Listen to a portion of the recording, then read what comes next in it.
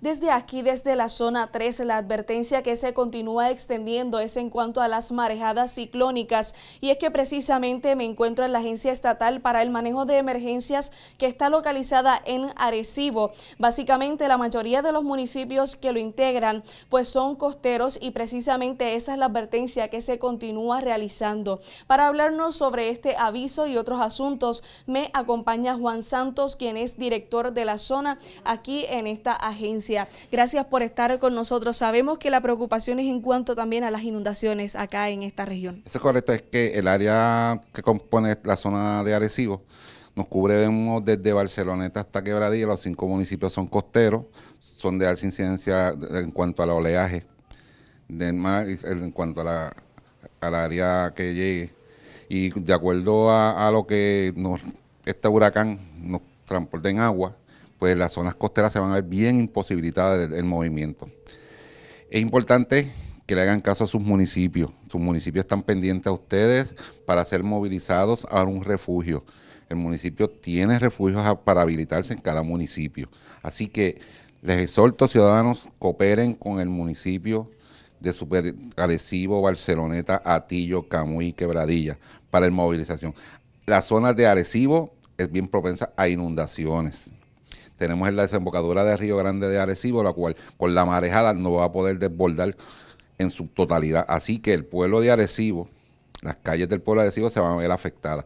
Vamos a ver movimiento, el municipio va a estar con ustedes haciendo el movimiento a sus, refugios. Cada municipio tiene sus refugios ya nombrados para habilitarse, así que esperamos que cooperen, por favor, coopere, ciudadanía, coopere con nuestro pueblo. En cuanto al sector de la salud, ya están preparados todos los hospitales de la zona para responder ante una emergencia también. Eso es así. De acuerdo a la coalición de hospitales de la región norte, todos los hospitales en el área norte están preparados para el evento. Todos los hospitales con camillas y equipo médico. Así que esperamos que esto no sea de gran magnitud que nos veamos tan afectados, pero los hospitales están preparados. Básicamente, ¿cuál sería esa exhortación continua a todas las familias de la zona que usted lidera?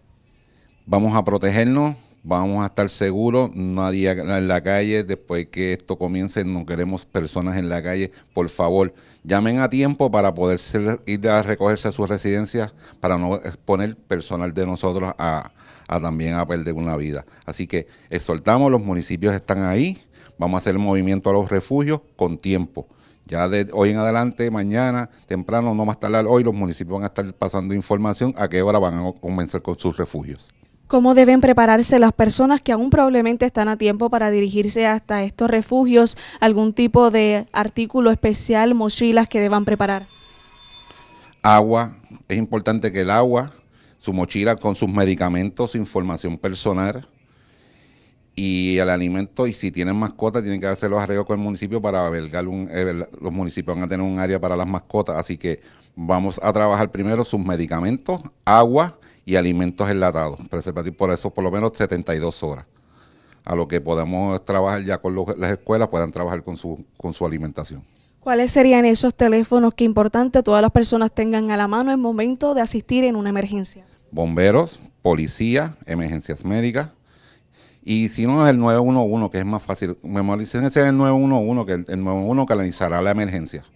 Pues muchísimas gracias por acompañarnos durante esta intervención. Usted recuerde que también, aparte del número de emergencia 911, usted puede comunicarse al 311 para solicitar alguna información sobre los refugios y los movimientos que se continuarán extendiendo. Nosotros continuaremos informándoles sobre todo lo que acontezca. Por lo pronto, les informaron Alex Vélez Cruz, Wilmar Jiménez Santiago para Hora TV Noticias.